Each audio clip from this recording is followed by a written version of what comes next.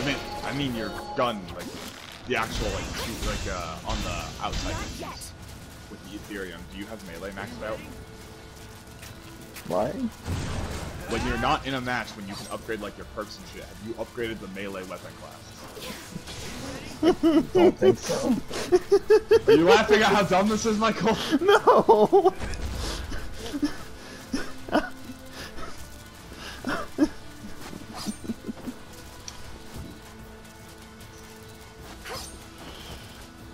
What does that do? It's Shatter Blast. It's uh one of the AATs. I think I can go by the M60 now. No, you can't. You're too broke. I can afford it though. You know I mean? You can't sprint, or you have to really have to walk all the way back just to learn you can't fucking buy it. I'm gonna get a zombie or two on the way. Now I have enough. No, I don't.